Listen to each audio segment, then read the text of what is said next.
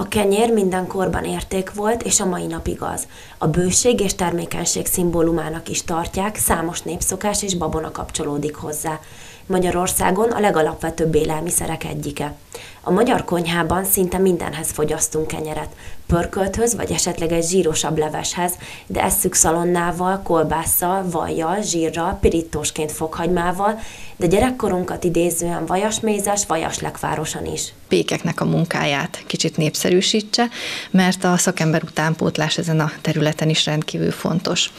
Napjainkban körülbelül egy 30 országban ünnepeljük a kenyérvilágnapját, és ehhez kapcsolódóan a különböző szervezetek, akik tömörítik a szakmát, karitatív célokra, a rászorulók részére adományokat is ajándékoznak. A Magyar Pékszövetség 2004 óta adományoz különböző gyermekvédelmi intézményeknek, idős és szociális otthonoknak.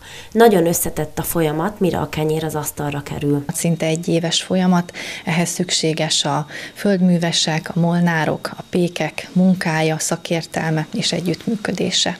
Az Élelmezés Világnapját is megemlíti vendéged itt, a Nemzeti Agrárgazdasági Kamara, Tolna vármegyei elnöke. Magyarországon is évente háztartásonként körülbelül egy 62 kg élelmiszer kerül a kukába, ami azt gondolom, hogy nagyon sok, és ezt csökkenteni lenne szükséges. És ugye ami még fontos ezzel kapcsolatos, hogy nem csak az élelmiszer dobjuk ki, hanem kukába kerül ilyenkor az élelmiszerre ráfordított munka, energia és a pénz is. A témával kapcsolatban szexádiakat kérdeztünk. Vannak itt ezek a hajléktalanok, és akkor én úgy szoktam, hogy nem dobom el, hanem akkor megkenem egy kis vajjal, meg egy kis vöröshagyma, és bele egy nejlomba kiteszem, és akkor ezek szívesen megeszik. Nem szabad pazarolni, nem, én mindig kis mennyiségbe veszek, és ami elfogy.